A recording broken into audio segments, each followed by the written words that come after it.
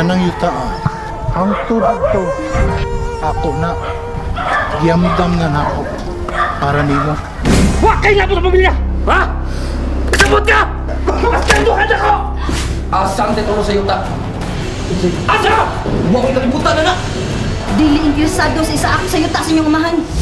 Ikaw mo tagay?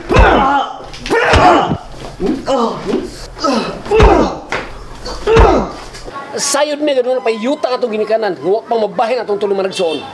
Dako-dako to yuta ah. Lima to ka hektarya. Giblayan mi nimo.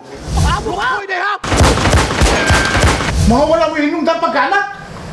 Kinsa na hinungdan dan? Katong imong anak sa gawas ka bastardo na ka!